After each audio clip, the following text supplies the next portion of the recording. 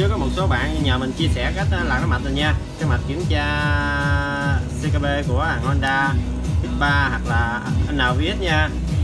Thì đây là của Honda. Thì Honda màu dây cũng vậy và Yamaha màu dây cũng vậy nha. Nâu nâu ờ, nâu là cộng và xanh là trừ nè. Còn mấy dây dây tín hiệu nha. Dây tín hiệu, dây tín hiệu. Bốn dây dây tín hiệu ha. Nâu là nâu là cộng nha, nâu tàu đen là cộng. Thì ờ, hàng xanh là trừ ha đây ờ, linh linh kiện nó là để làm cái nè.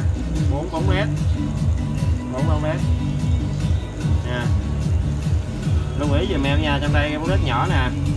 Nó có một cái cực lớn và một cái dấu nhỏ. Bên đây là cái ca tóp nè. Cực lớn ca tóp bên đây là a, a tóp a là cộng k là trừ nha. Nha.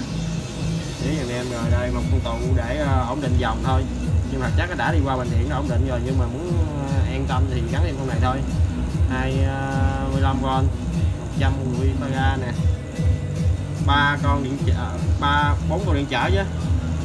Bốn con điện trở 330 ohm tương đương tương đương là nó à, cản dòng cản dòng 12V dưới đây nè. Nhưng bóng bóng led vẫn sáng, nha. Đây, và một con IC là là 7815 là con áp 12V ổn định dòng 12V dù à, bắt bạn cấp nguồn 35V đó, nó vẫn là ra 12V nha. Nha ống áp 12V dù có kẹp vô ờ, nguồn ba mươi mấy V nó cũng là 12V nè nha. Rồi xin đòi mạch đây. Đây, cái bình điện nè. Lưu ý cho em nha. Bình điện. Rồi, cực cộng của bình điện vô con IC 7805 và cái chân giữa của nó thì vô chân mát để nó ổn định dòng nè. Và cái chân bìa nè. Cái chân bìa nè, cái chân bìa cuối cùng nè ha. Cái chân bìa nằm bên tay nè. Nha, chân chân bìa nằm này nè rồi, để luôn cho dễ nè, đó. Chân bìa này nó xuất tín hiệu ra nguồn 12V ổn áp 12V nha. Xong đó, bác bạn để một con tụ nó cho ổn dòng nữa nè. Ổn con tụ, cái chân con tụ vô mát bình điện luôn, nha. Xong, lấy nguồn 12V đưa lên đây, đưa vô ba, bốn con điện chở 330 ohm, nha. Xong ba ba điện chở là mắt với nói cái à, cực a tốt bóng đèn led cộng nha, là cực cộng của bóng đèn led móc đều hết nha là cấp nguồn cái bóng đèn led xong đó là đưa nguồn lên con cảm biến. Đây là cảm biến à, uh, CKB nha bốn con nè. Thì đây là cộng nè. Ha cấp nguồn của nó. Cộng ở đây chạy đây cấp nguồn nó là trừ nha. Xong. Đặc biệt dây tín hiệu về. Dây tín hiệu về là cái chân âm là cái chân ca tốt của con bóng đèn led nha.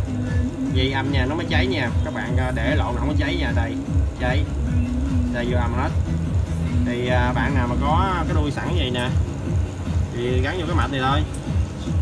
Còn bạn nào mà không có thì các bạn cứ hàng dây ra rồi cứ cấp nguồn đúng vô con dây màu nâu đen hoặc xanh này là cấp nguồn đó. Còn dây tín hiệu về dây đỏ trắng này cứ cấp vô cái chân này. Dây màu đen trắng là cấp vô chân này. Vậy nè cấp vô đủ hết. Xong đó ha. Đây bốn con cảm biến tương đương bốn con này. Nhìn kỹ giùm em nha đèn bóng led nha. Bốn bóng led nhưng mà chân tín hiệu con CKB gửi về là chân mát nha. Thì nó bóng đèn này mới cháy được nha. Ha đây, để em cấp nguồn kiểm tra cho bác coi đây. Bây giờ đây, trên cái mạch này. Kỹ giùm em nha. Tại có một số bạn hỏi chỉ cách làm nó đơn giản lắm. Có ra chợ mua mười mấy ngàn tiền linh kiện rồi xong à. Không cần mua chi ờ, về kiểm tra được rồi đây. Quét đây.